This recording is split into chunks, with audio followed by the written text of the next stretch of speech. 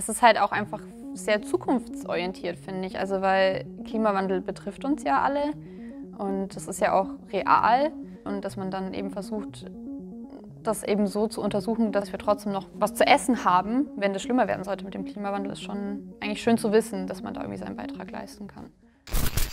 Willkommen zurück. Unsere beiden Biochemikerinnen im heutigen Video beschäftigen sich mit dem Grundnahrungsmittel der Kartoffel.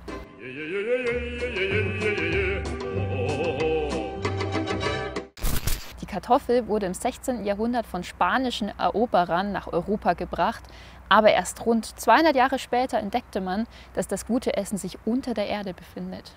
Und heutzutage ist ja kaum mehr wegzudenken als eines der wichtigsten Grundnahrungsmittel. Und damit sie uns so erhalten bleibt, beschäftigen sich die zwei Biochemikerinnen mit ihrer Zukunft.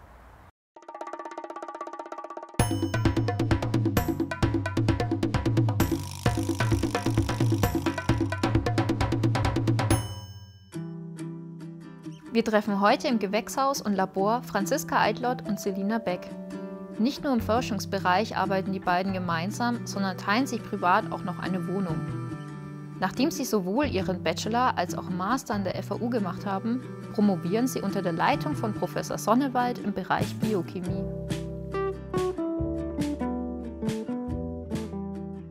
Also ich meine, das ganz große Ziel ist natürlich eben tolerante genau, Kartoffeln, genau, tolerante, tolerante Kartoffeln eben ähm, gegen Hitze zu haben. Also das ist so unser Ziel von unserer Arbeitsgruppe sozusagen. Und da schaut sich halt jeder, eben so einen kleinen Teil an und hoffentlich äh, hat dann jeder so das, das, Puzzleteil und wenn man das dann zusammenbringt, dann hat man vielleicht eine gute Lösung, eben auch in Bezug auf den Klimawandel. Warum es so wichtig ist, tolerante Kartoffeln zu haben, das lässt sich ganz gut anhand der beiden Graphen zeigen. Hier kann man sehen, dass es im Laufe der Zeit zu einem Temperaturanstieg von etwa 0,8 Grad Celsius in den letzten 60 Jahren kam.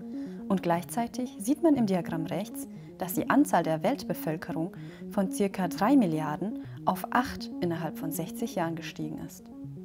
Während auf der einen Seite die Anzahl der Menschen immer weiter ansteigt, die Nahrungsmittel benötigen, werden die Wachstumsbedingungen der Pflanzen immer schwieriger aufgrund des Klimawandels und steigenden Temperaturen. Wir begleiten nun beide in das Gewächshaus im obersten Geschoss des Biologikums, direkt unter dem Dach, und lassen uns die praktische Arbeit an den Kartoffelpflanzen zeigen und einiges dazu erklären. Ich arbeite mit gentechnisch veränderten Pflanzen. Also hauptsächlich habe ich eben ein Gen genommen und habe es in manchen Pflanzen ausgeschalten. Zum Beispiel in der hier. Da ist es dann nicht mehr da.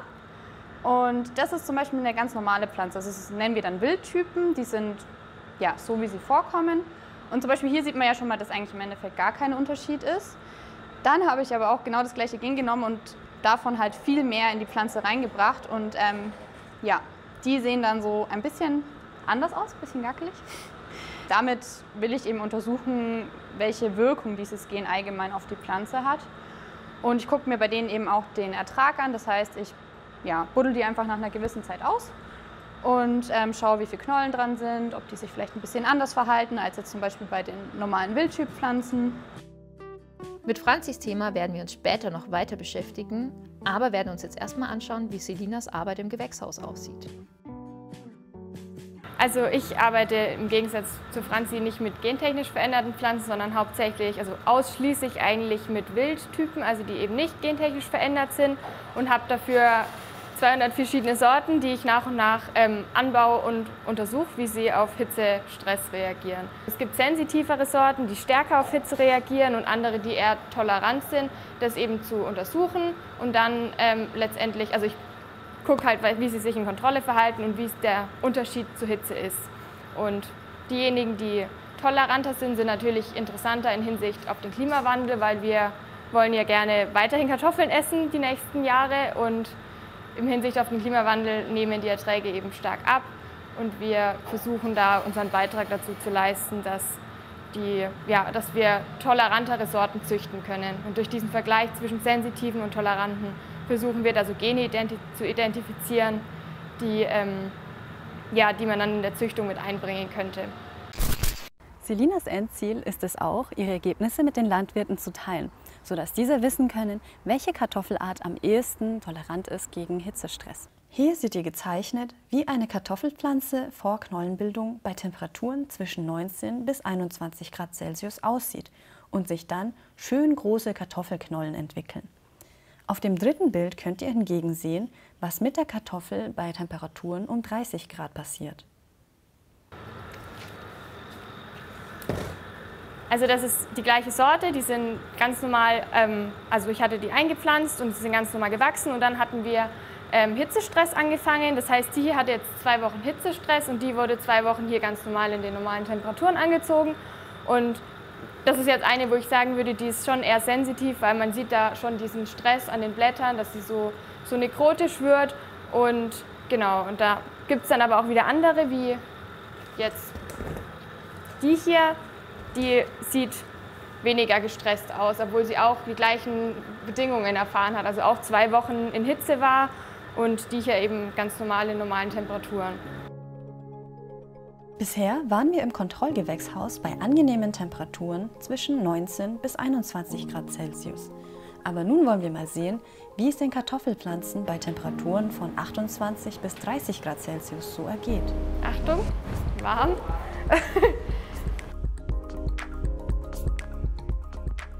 Das hier sind jetzt die, das sind die gleichen Sorten, die wir da drüben hatten, nur dass sie eben hitzegestresst sind für die letzten, hitzegestresst wurden die letzten zwei Wochen. Und man sieht da richtig schön, dass die so ihre Blätter so in die, in die Luft strecken, also so aufrichten. Das machen sie, das ist so eine typische Hitzeantwort, was eigentlich alle Kartoffeln machen, aber manche sind da irgendwie empfindlicher als andere. Das sind auch so Unterschiede, die wir sehen ähm, und halt auch dokumentieren, um da so ein bisschen mehr Erfahrung Erfahrungswerte zu sammeln, weil bisher das noch nie jemand so gemacht hat, in so einem Ausmaß so viele Sorten zu vergleichen. Und wir versuchen da einfach so viele Parameter wie möglich ähm, aufzunehmen. Wie aber nun das Verfahren für die weiteren Forschungen im Labor aussieht, lassen wir uns von Franzi zeigen. Als allererstes nimmt sie Proben von den Blättern der Kartoffel. Und wir gucken immer, dass wir bei den einzelnen Pflanzen ähm, immer ungefähr vom gleichen Blatt nehmen. Also wir fangen dann, keine Ahnung, hier beim obersten ab, an und zählen dann runter bis zum, ja, ich sag mal ungefähr fünften bis siebten Blatt. Und ähm, da haben wir dann diese coolen Stanzer hier, ähm, wo uns das ein bisschen leichter fällt, dann die Proben zu nehmen. Und nehmen wir mal das Blatt hier.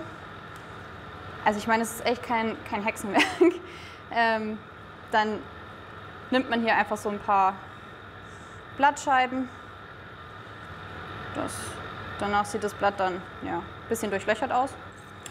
Ähm, dann kommt es hier ähm, für RNA-Proben, ähm, verwenden wir immer so Alufolie. Da wird es dann einfach nur eingewickelt und kommt dann hier in unseren flüssigen Stickstoff, wo das dann ähm, sozusagen schockgefroren wird. Also das ist dann ähm, sofort eingefroren. Eben, dass auch unser Blattmaterial, ähm, ja, dass das nicht kaputt geht. Deswegen frieren wir das dann einfach gleich weg. Franzi bereitet für uns im Labor ihre Probe vor. Hierzu benötigt sie einen kleinen Mörser, ihre gestanzte Probe, eine spezielle Lösung zum Aufreinigen der Probe und Eppendorf-Gefäße, um diese später mit der fertigen Lösung zu befüllen. Auch die Schutzbrille nicht vergessen, weil wir ja das nicht im Auge haben, weil die Lösung ist jetzt auch nicht so ganz, ähm, ganz ohne. Weil man will letztendlich sich die RNA aus diesen Blattproben anschauen. Ähm, es gibt aber halt auch eben ähm, ja, Enzyme, die diese RNA aber halt kaputt machen. Äh, und deswegen muss man auch recht vorsichtig arbeiten, deswegen trägt man auch immer Handschuhe, weil ähm, man selber hat auch eben diese Enzyme auch an den Händen. Und dann mörsert man das nämlich zu so einem ganz feinen Pulver hier. Das klebt dann immer so ein bisschen hier am Mörser vorne dran. Und da gibt man dann eine Lösung drauf. Und verrührt das dann nochmal so ein bisschen. Ähm, genau, und das ist sozusagen so der erste Schritt, wie man sich sozusagen die RNA aus den Pflanzen eben zieht. Da kommen noch ganz, ganz viele weitere Schritte, aber es äh, dauert auch ähm, so einen ganzen Tag schon.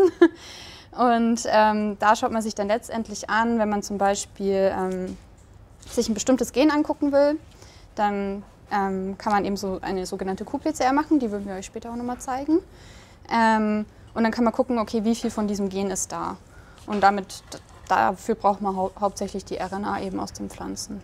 Ich meine, RNA ist vielleicht für viele jetzt eben auch durch Corona vielleicht schon ein bisschen ein Begriff. Wir haben ja unsere DNA und aus der DNA wird ja dann ähm, RNA gemacht, also das ist wie so eine Zwischenstufe. Und aus der RNA wird dann letztendlich ein Protein hergestellt. Und ähm, wir gucken uns das halt eben alles sozusagen auf RNA-Ebene an, um zu, weil im Endeffekt so viel wie RNA da ist, haben wir dann eben auch das Protein da, was dann eben seine Funktion erfüllt und genau. Okay. Franzi kann nun ihre hergestellte Flüssigkeit nehmen und abzentrifugieren, um letztlich die einzelnen Zellbestandteile zu trennen. Wir gucken uns nicht direkt RNA an, sondern wir ähm, schreiben die dann sozusagen wieder um in cDNA. Und auf diese cDNA machen wir dann eben den Test, der halt qPCR heißt. Also da haben wir dann auch wieder diese kleinen DNA-Stücke, die dann eben an unsere cDNA binden können. Und dann amplifiziert es das wieder. Also das heißt, ähm, wenn das halt dann da ist, dann wird davon halt wieder ganz viel gemacht und das kann dann detektiert werden über so eine qPCR-Maschine heißt das dann auch. Genau, und ähm, dafür brauchen wir eben diese kleinen Platten hier. Da wird dann immer ähm, ja, pro ein so einem kleinen Loch wird eine Probe ähm, reinpipettiert und ähm, die kommt dann eben in die qPCR-Maschine rein.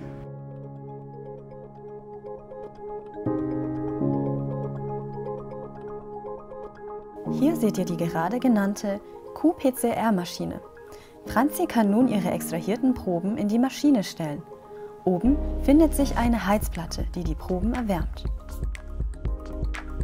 Nach kurzer Wartezeit erhält man ein Ergebnis. Und wie das aussehen kann, erklärt uns die Selina.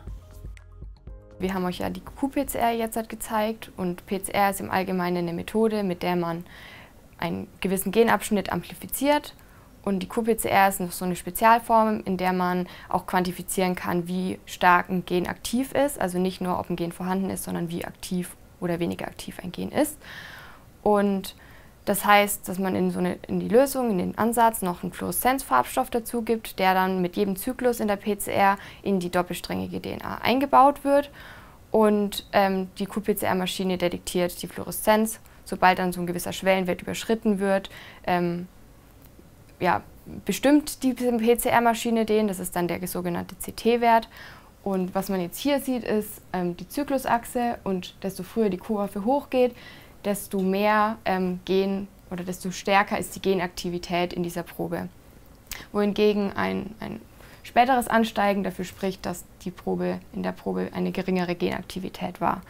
Und was ich dann jetzt in meinem in meiner Projekt mache, ist, dass ich vergleiche, ob sensitive und tolerante Sorten unterschiedliche Genaktivitäten haben, beziehungsweise auf bestimmte Gene das teste und die dann auch, wenn die Gene vielversprechend aussehen oder für vielversprechendes Profil aufweisen, auch weiter verwende für hoffentlich spätere Züchtungen.